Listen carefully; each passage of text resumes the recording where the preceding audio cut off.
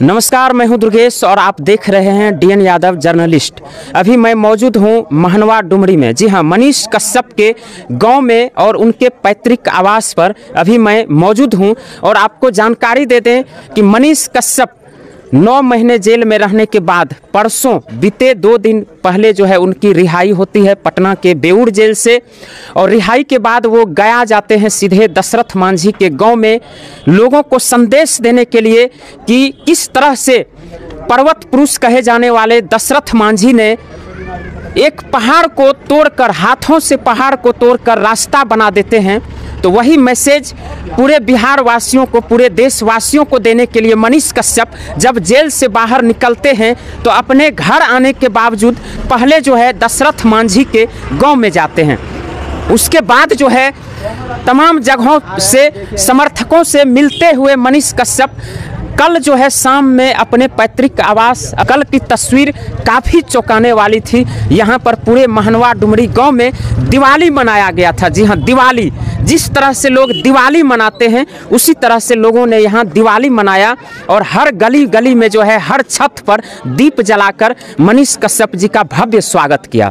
और जैसे ही मनीष कश्यप घर पर आने वाले थे, लोगों को सूचना मिली पहले ही मनीष कश्यप को लेने के लिए रिसीव करने के लिए यहाँ से चार चार डीजे जो है रथ के साथ, रथ के साथ जो है चार चार डीजे के साथ यहाँ से सैकड़ों हज़ारों लोग गए और फिर मनीष कश्यप जी जैसे ही कल शाम में घर पहुँचे, यहाँ पर लाखों की भीड़ लग गई, हज़ारों नहीं, लाखों की भीड़। जी हाँ ये किसी को यकीन नहीं हो रहा था कि इतना भी भीड़ लगेगा।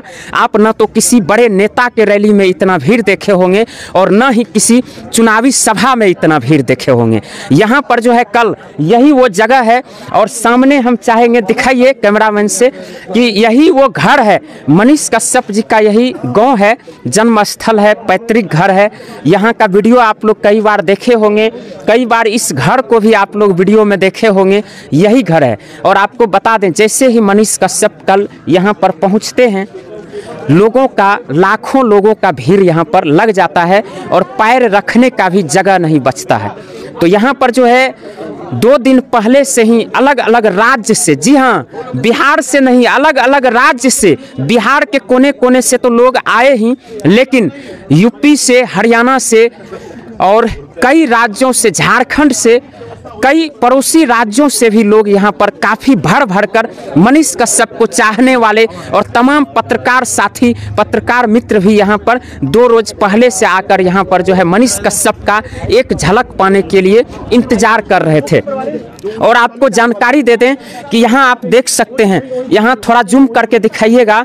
इधर देखिए, सभी दर्शकों के लिए, सभी जितने भी चाहने वाले हैं, मनीष कश्यप के चाहने वाले हैं, सबके लिए यहाँ पर खाना का भी इंतज़ाम। जी हाँ दो रोज, तीन रोज पहले से जो लोग यहाँ पर आ रहे थे, पहुँच रहे थे, सबके लिए खाना का, रहना का इंतज़ाम। आप लोगों को डीएनवाई न्यूज़ के माध्यम से पहले भी हम लगातार वीडियो दिखा रहे हैं कि यहाँ पे बगल में सामुदायिक भवन है, वहाँ पर लोगों को रहने के लिए भी काफ़ी जो है इंतज़ाम किया गया है और कल शाम में भी यहाँ पर लगभग ढाई तीन सौ लोग रुके हुए थे। जी हाँ रुके हुए थे, रात में भी रुके और अभी आज सुबह से ही फिर से मनीष कश्यप जी से एक मुलाकात एक मुलाकात के लिए लोग यहाँ पर फिर से जमा होना शुरू हो गए हैं और लोग अलग अलग जगहों से, आसपास से भी लोग आ रहे हैं। और ये देख, दिखाइए, जरा घुमा के दिखाइए, इन भीड़ को दिखाइए। कि किस तरह से यहाँ पर जो है लगातार हमारे पत्रकार भाई, मीडिया के कर्मी भी, मीडिया भाई भी यहाँ लगातार लोगों का इंटरव्यू कर रहे हैं। कहाँ कहाँ से लोग आ रहे हैं? अलग अलग राज्य से लोग आ रहे हैं। लोग लगातार हमारे साथी लोग दिखा रहे हैं लाइव इंटरव्यू दिखा रहे हैं। और कल जो मनीष भैया यहाँ पहुँचने के बाद सबको संबोधित किए, जितने भी चाहने वाले थे, सबों को संबोधित किए। उसमें मनीष कश्यप जी पूरी अपनी आप बीती बताए कि किस तरह से उन्होंने सच्चाई को दिखाने के कारण और जो हमारे पूरे बिहार में भ्रष्टाचार होता है लगातार, उसको दिखाने के कारण मनीष कश्यप किस तरह से जेल गए थे और जेल जाने के बाद, नौ महीना के बाद जो है मनीष कश्यप की रिहाई होती है। रिहाई के बाद वो अपने घर पहुँचने के बाद अपने चाहने वाले, वालों से, समर्थकों से और अपने पत्रकार भाइयों से किस तरह से मैसेज देते हैं और किस तरह से पूरी अपनी आप बीती बताते हैं, कैसे जेल गए, कैसे उनका नौ महीना जो है बीता। ये पूरा वीडियो जो है आपको हमारे चैनल पर देखने के लिए मिल जाएगा। कल किस तरह से मनीष कश्यप जी जो है, लोगों को समर्थन किए ये पूरा वीडियो अगर आप देखना चाहते हैं तो हमारे चैनल पर आप जाकर देख सकते हैं। सभी लाइव अपडेट सभी वीडियो हमारे चैनल पर मौजूद है और अभी आपको हम यहाँ का तस्वीर दिखा रहे थे। और एक देखिए, यहाँ फूल माला जब मनीष कश्यप जी आए थे तो यहाँ पर अभी गाड़ी लगी हुई थी मनीष कश्यप जी का, और गाड़ी से फूल माला निकाला गया था, गमछा निकाला गया था। लोगों ने जो अपना प्यार आशीर्वाद दिया, और गमछा देकर जो है लोगों ने सम्मान जो किया, पटना से यहाँ तक पहुँचने में लगभग जो है, हम, लगता है कि हमें कि सैकड़ों जो है गमछा और सैकड़ों फूल माला से भव्य स्वागत किया गया। कई जगह तो रास्ते में लोगों ने रोक रोक कर जो है मनीष कश्यप जी को बहुत ही ज़बरदस्त तरीके से स्वागत किए गमछा और फूल माला से।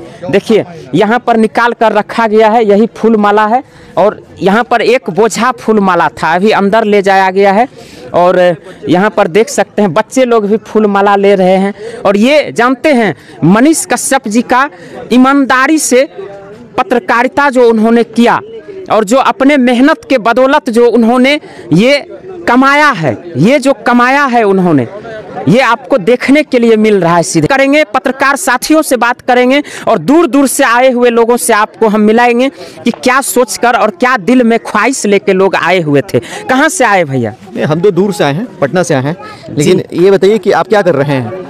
हम जो है जिस तरह से मनीष भैया दशरथ मांझी का जीवनी को बताने का प्रयास किए और सबसे पहले जेल से निकलने के बाद वहाँ दशरथ मांझी के गाँव पहुँचे उसी तरह से हम मनीष भैया का जीवनी को बताने का प्रयास कर रहे हैं। तो निकल रहा हूँ बिल्कुल हम लोग भी भैया बाइक से आए हैं सुपौल से आप तो बोले बहुत दूर से आए हैं पटना से लेकिन आपके जितने दूरी होंगे उससे कहीं दो तीन गुनी ज़्यादा दूरी से हम लोग आए हैं और वो भी बाइक चला के हम लोग आए हैं। देखिए आपके प्रयास तो- बहुत बढ़िया है। हाँ। बेहतर प्रयास कर रहे हैं जी। लेकिन अब है कि आप अपनी पहचान बनाइए। बिल्कुल बिल्कुल। और जो लोगों की समस्या है ना बिहार में बहुत समस्या है तो समस्या को दिखाइए। बिल्कुल मेरा जो घर है ना उनके सामने जो रोड है वो टूटा हुआ है। उसको दिखाइए। उनको हम लोग लगातार तो सभी भैया का कहने का मतलब यही हुआ कि भाई जितने भी मीडिया वाले हैं जितने भी डिजिटल मीडिया के पत्रकार हैं आप लोग ईमानदारी से काम करिए और जिस तरह से मनीष कश्यप जी अपने मेहनत के बदौलत आज जो ये धन कमाए हैं और पब्लिक का, लाखों लोगों का, करोड़ों लोगों का जो प्यार और सपोर्ट जो है, कमाए हैं उन्होंने।